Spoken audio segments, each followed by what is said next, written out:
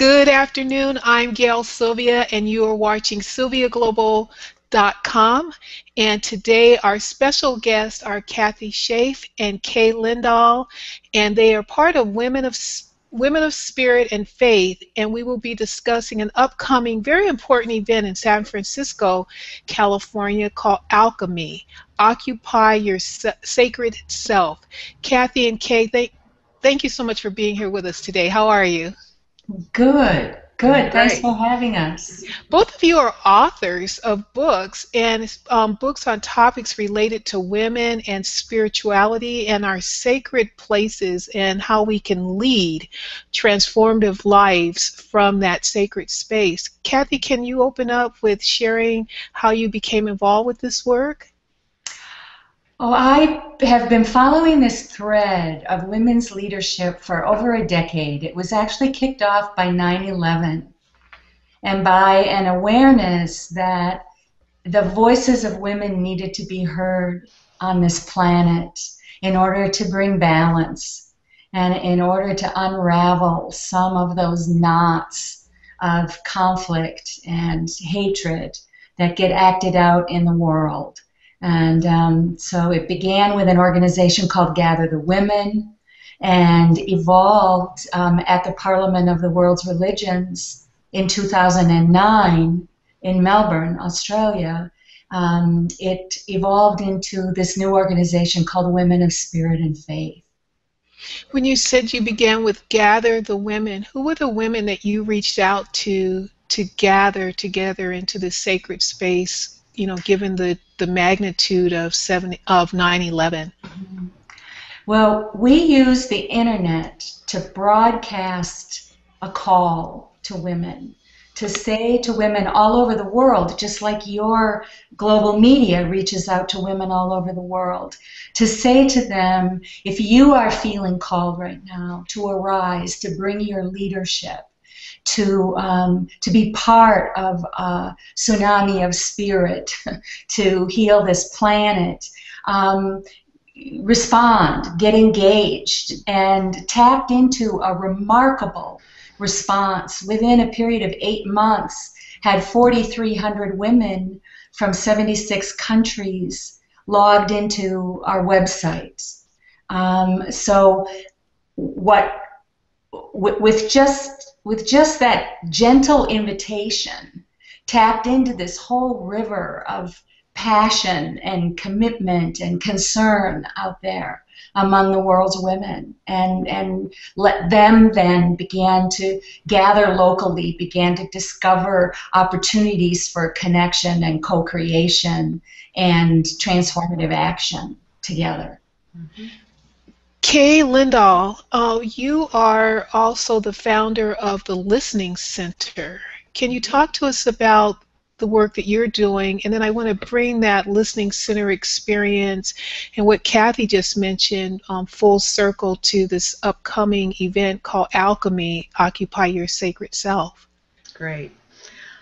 My in interest in listening started probably about 25 years ago and when I became engaged in interfaith work, and I discovered that uh, listening was an extremely important part, part of interfaith dialogue, that you really needed to learn how to listen very well if you were talking to people who had such different belief systems and different ways of looking at their own spiritual lives.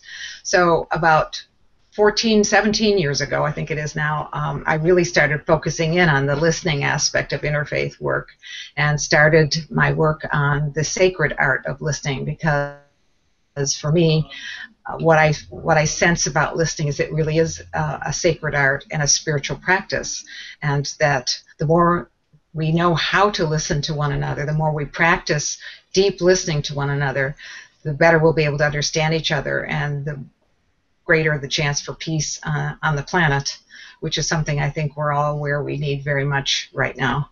So, a part of what's sacred about the power of listening is being able to be still and to be quiet, and you know, to have moments yes. uh, where we are in a sacred, mm-hmm. quiet place. Mm-hmm. So, listening to that inner voice sounds like, Kathe, something that also happened to you that evolved into the gathering. Is that accurate?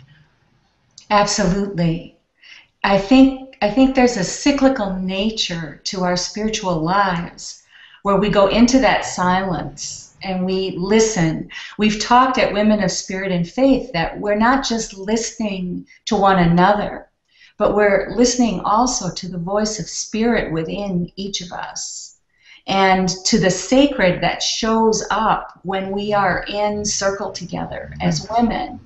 And so there's this cyclical nature where we go inward to listen to that voice.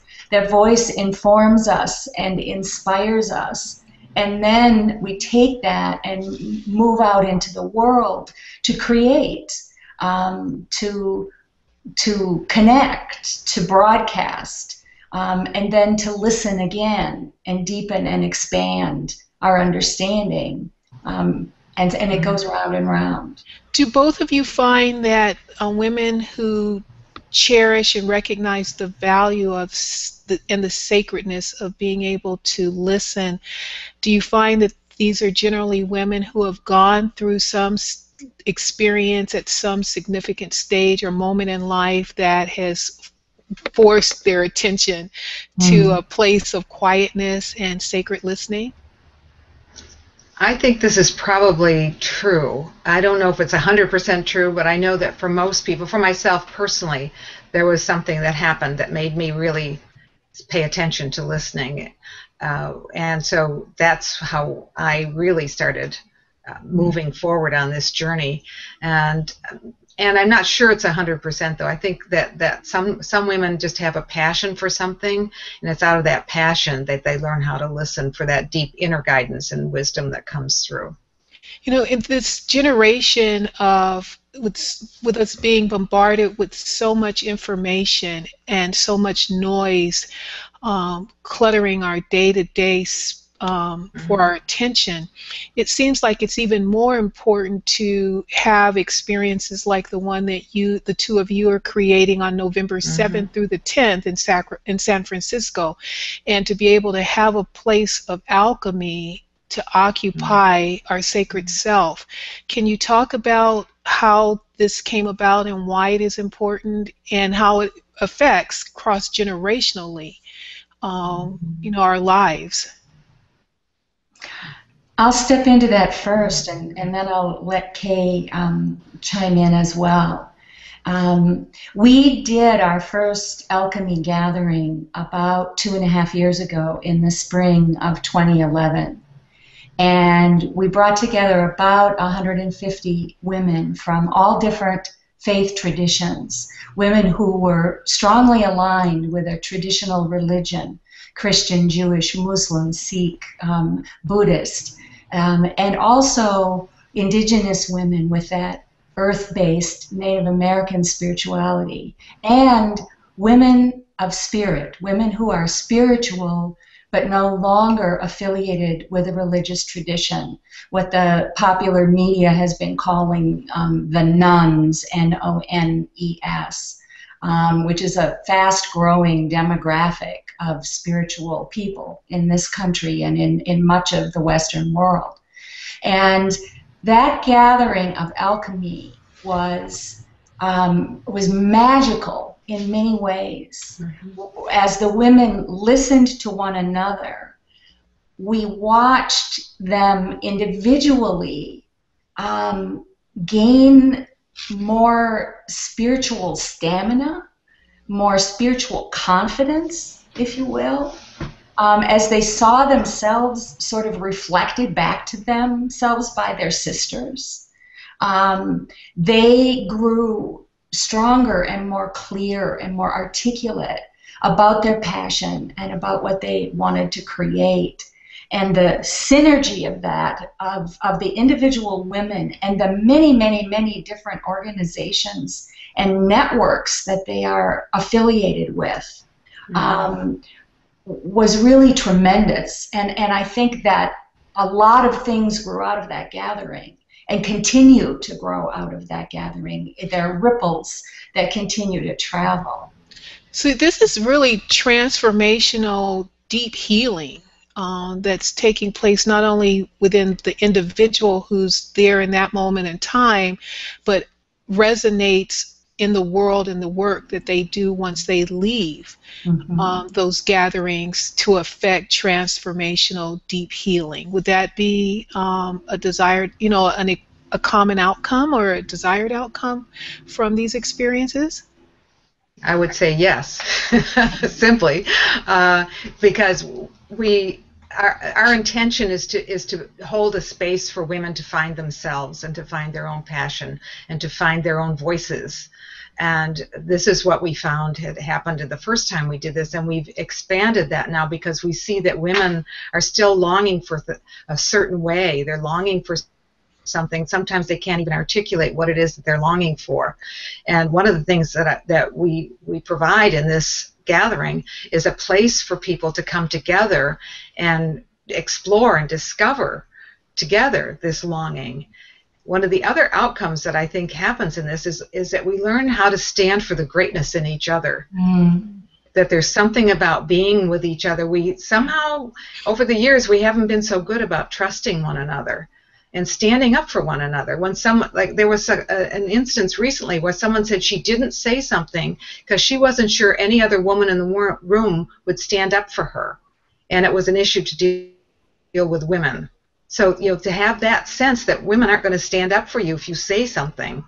Uh, it, that's huge, and women have a role that has has been neglected for so long now because we had we're half the population and we haven't been half the conversation.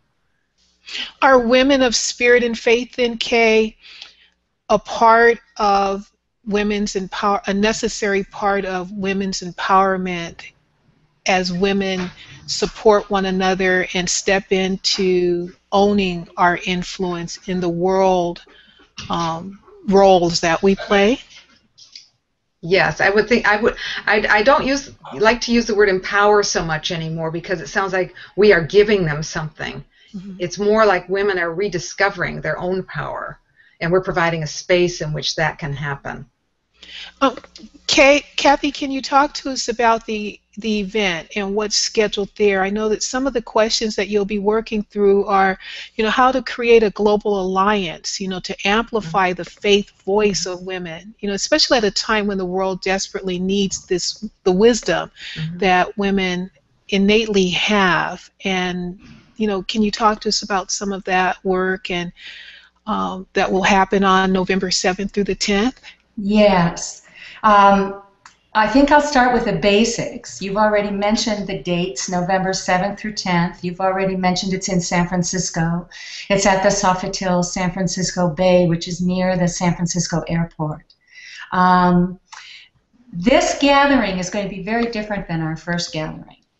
We are going to have no keynote speakers. We're going to have no panels of experts at the front of the room um, with people sitting and passively receiving um, in the rest of the room. The design of this gathering is going to be completely radically different, inviting the voices and the wisdom of literally every single person in the room. And there will be some remarkable women joining us. Naomi Tutu is going to be with us, um, Alisa Starkweather, uh, Kathy Hearn from the New Thought Movement, Diane Longboat, an Indigenous wisdom keeper from Canada, from The Soul of the Mother, um, Carol Lee Flinders, who is the author of many remarkable books on women and spirituality, and many, many, many more. But they won't be coming as experts to stand at the front of the room.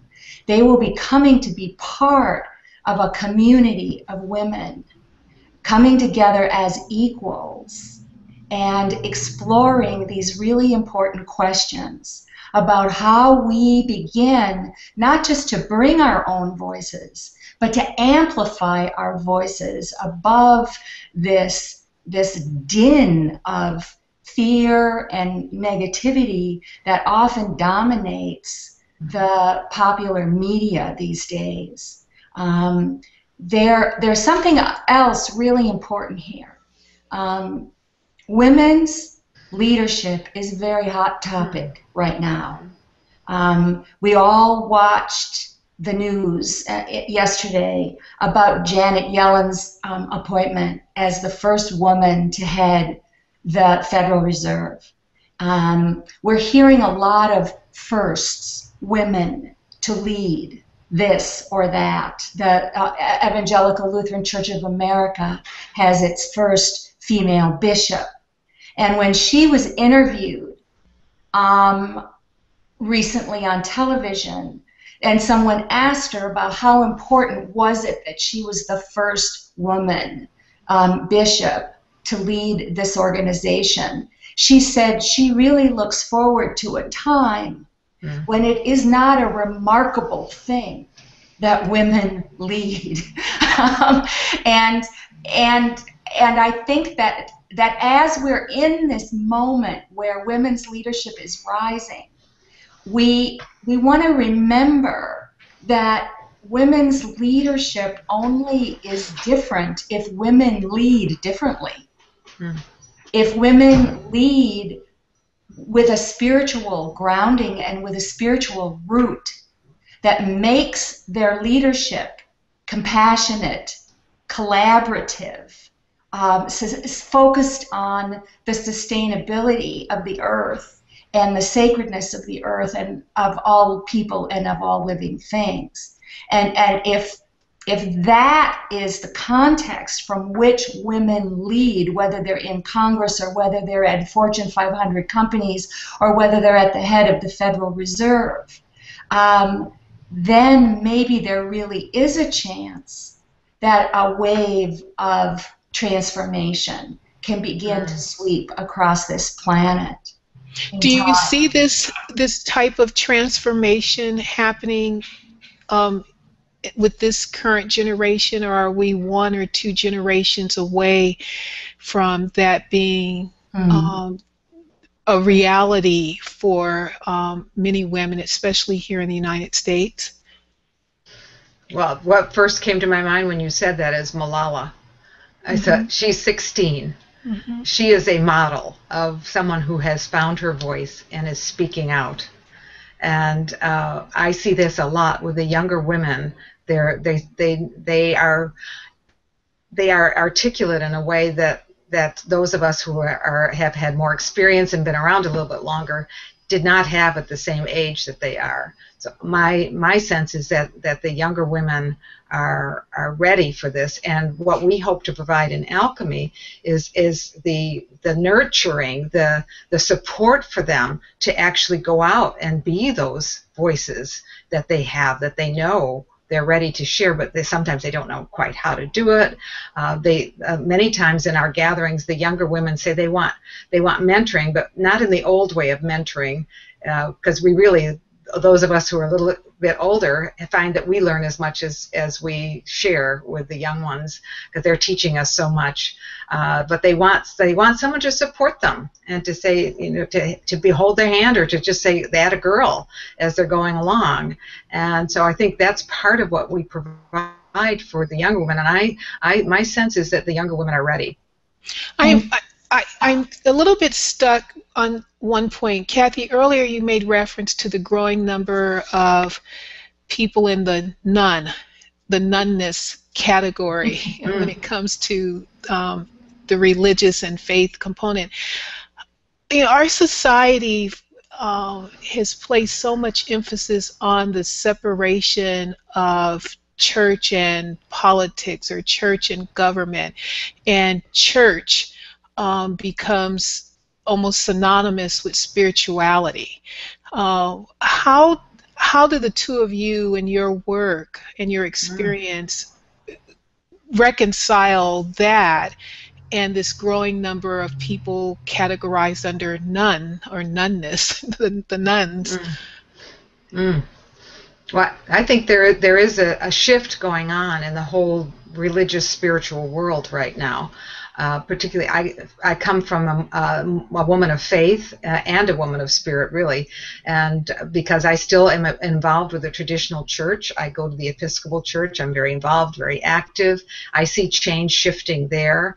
And I'm also very much a woman of spirit because I, I really experience my spirituality on a daily basis and all the time. And I think there are a lot of people like us around, like me around, uh, that are are both now, and and that women of faith are learning from women of spirit about the experiences, and women of spirit are learning from women of faith about practice. That, that it's a practice, sometimes a deeper practice, the rootedness that women of faith have. So I think I think that that there's there's there's a both and to this. It's not either or, and that there are a lot of people who are having these this sense of spiritual experiences that call themselves spiritual who are not connected with their traditional faith tradition who still can participate with women who are part of this traditional faith tradition. Kathe, do you have any thoughts on this as well? Yeah, I, I think there are a couple um, interesting points here. One of my friends, Anne Benvenuti, who was the co-chair with me and um, with Phyllis Curott of the Women's Task Force at the Parliament of the World's Religions, described that this this name, the nuns, is not really a very accurate name. Mm. That actually a lot of these people are more like alls than nuns. Mm-hmm. They are people like me who embody spiritual practices from a number of different religions and spiritual traditions. People who see the, the oneness and the unity at the heart of all the world's religions and want to live in some ways in the cracks between those silos that define um, religions as separate from one another. Um, and I think that there are actually a lot of women in that category of the alls because they couldn't find a legitimate place mm-hmm. to stand and be recognized as valuable contributors and leaders in the churches where they where they grew up and where where their families were affiliated.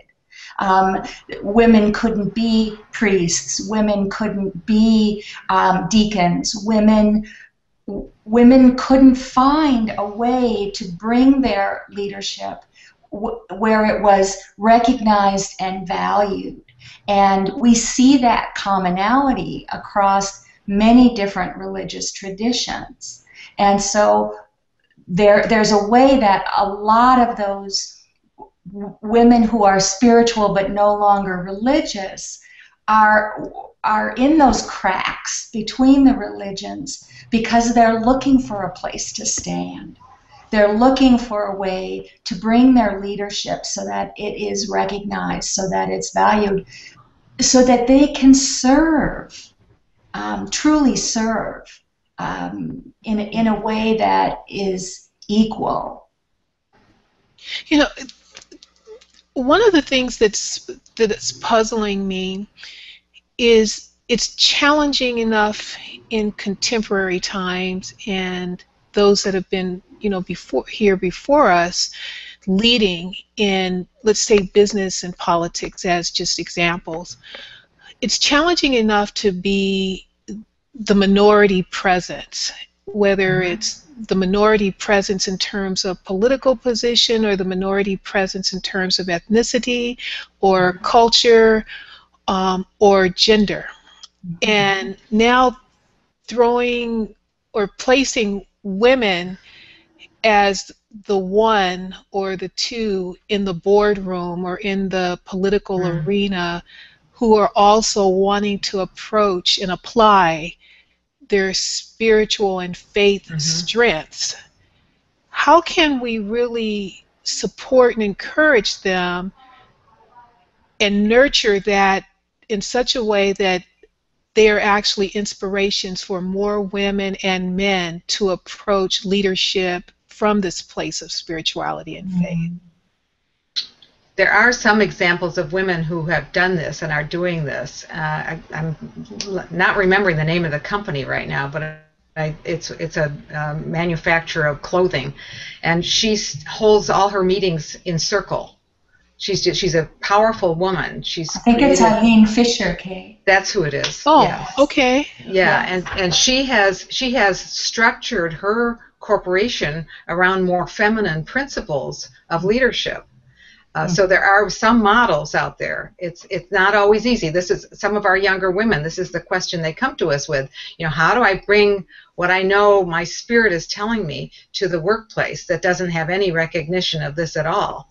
And you know, it's just it's it's hard for them right now at this particular point. And there are little things that they can do. They can they can just shift things a little by the way they do something. Like they can suggest certain things and they can offer certain certain ways of doing things that that can lead us to that place. But it, it is we're in that that transitional stage right now i think where women are not able to give their full self that don't feel that they are able to give them full, their full spiritual selves to their jobs. And yet i think it's shifting and i think men are shifting as well I see that there that there are men who are starting to value the women's contributions. And the bottom line is that women-owned organizations are more profitable and do better than men-owned or, or small businesses. There's, there's statistics out there that prove this. So women's management style also impacts the bottom line. So that I, I have all faith that this will will be there will be more women expressing their leadership in businesses when they when that fact gets out into the general culture. Kathe, at the alchemy gathering to occupy our sacred self, will there be opportunities to experience um, this sisterhood um, paradigm shift or to address this or to model um, some of these elements that the participants can take back to the workforce and to their um, day-to-day lives? Yes. Um, we, we have designed this event very carefully and with a lot of collaborative input from different women representing different organizations, from with women who have different skill sets. And one of the things that we have as a priority is to model different ways of doing dialogue, different ways of doing listening, um, and pointing out that modeling when it's happening so that we can say to women, uh, we've called them exclamation points, um, where we can just say, this is an example of something that you can do in the workplace, or this is something that you can do with your family. Um, this is something you can bring into your marital relationship. Um, these skills are life skills. They're not just spiritual um, practices. You, you called them spiritual strengths earlier, and I think that's a beautiful phrase. They're life skills that translate across multiple um, dimensions of women's lives. And our coming together in San Francisco is going to be an opportunity to teach one another um, new skills and new practices and to, to constantly be reminding women note what you just saw because that's an example of a new way of doing things. You know, this broadcast is being recorded and presented during the International Day of the Girl Child mm-hmm. celebrations. You know, the UN General Assembly designated October 11th as the International Day of the Girl Child, and this second um, celebration of that is in the area of innovative education. And so it sounds to me that in that context, what the work that the two of you are at the forefront of is a part of the education, innovative educational approach mm-hmm. to empowering girls. Mm-hmm. That it's to embrace and not stymie ongoing spiritual development and recognition throughout life um, all of our life cycles, and that this is a way of creating a new global culture as it relates to transformative leadership with women and girls as the leaders. You know, it, it, this is, I think that the impact of what you're doing uh, is the will affect generations. You know, the come. I really mm-hmm. do. Is mm-hmm. that that the hope? Yes. you know, we we've had a strong component of young leaders involved with Women of Spirit and Faith from the beginning, and we are now watching those young leaders get married and get pregnant and begin families. And one of our young leaders is going to be bringing her son, who is currently, I don't know how old is Henry Emerson, I think a couple months, 3 mm-hmm. months maybe. Mm-hmm. Um, she's going to be bringing him to Alchemy. Um, so we, we literally are watching this new generation um, come into this conversation, come into this sort of stream of possibilities and it's a it's a wonderful thing to see. In closing, I just want to thank both of you for the work that you're doing and that you're at the mm. forefront of this frontier. It remains a, a, a frontier. Um, Absolutely. And, um, mm-hmm. and yes. there's so much potential, in, and this is such a wonderful period of time in history for us to live and do this work because mm-hmm. we have the freedom, um, at least in our nation, and we have the capability using technology to expand and reach out to others and to gather together. Uh, people who want to see transformative change and not at the expense of losing or disconnecting from our faith and our mm-hmm. spirituality. That it this is the holistic um, component mm-hmm. to being transformative leaders. Yeah, exactly. Any closing comments, Kay, to the audience? Especially well, just, in light of the International Day of the Girl Child. Uh, yeah, that's so wonderful. Uh, I, I did read about that this morning, and I thought, oh, that's great. Um, no, what I one of the things I just would like to say is that in addition to the conversations that we will be having, we will be having experiences that will help us embody those conversations. For example, movement, uh, and dancing, and singing, and uh, art we're having some artwork so that, that because that engages the whole part of us. So we're embodying what we learn as well as having conversations about what we learn. And i do believe that the younger generation is uh, is ready for this and, and i'm so excited about the possibility that i see coming forth from our young leaders thank you Thank you, Kay. Thank you so yeah. much for being here with us today. How about you, it's Kathe? Any advice um, to our viewers? Well, I think I'd just like to share um, the invitation that Women of Spirit and Faith has been working with for four years. Mm. And it's the words that we open our book with. We published a book at the end of um, t- 2011 called Women, Spirituality, and Transformative Leadership Where Grace Meets Power. And we open that book with these words As a woman of spirit and faith, you have something important, you know something important about this moment in human history. You know it from your rich experiences in the world, and you know it from a place of deep wisdom within. Your unique pattern of knowing is part of a larger pattern of feminine wisdom being called forth at this time in service of the earth and of humanity.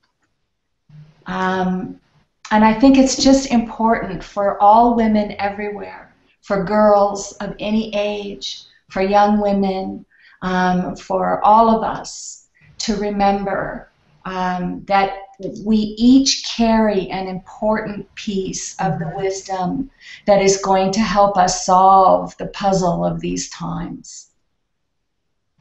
Kathe Schaaf, Kay Lindahl, thank you so much for being here today on Sylvia Global and our global conversations.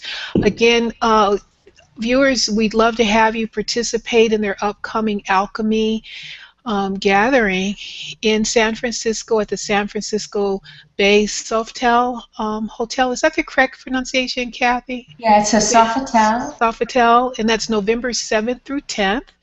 And it is the Alchemy Occupy Your Sacred Space. Where can people go to register? Yeah, they can go to our website, www.womenofspiritandfaith.org And there they'll find information not just about the Alchemy Gathering, but about all of the other things that Women of Spirit and Faith does. We have a blog called The Divine Feminine where anyone can contribute. We have um, local circles. There are a variety of ways that women can get engaged in this community and come play with us. Come play with us. Have a wonderful day, ladies. Yes. Thank you so much. I look forward to having you back on again after the gathering. Wonderful. Wonderful. All right. Thank nice to meet you, you. Kay. Kathe, Thank you, Gael. Thank you. Bye. Thank you so much. Bye-bye. Bye. Bye bye.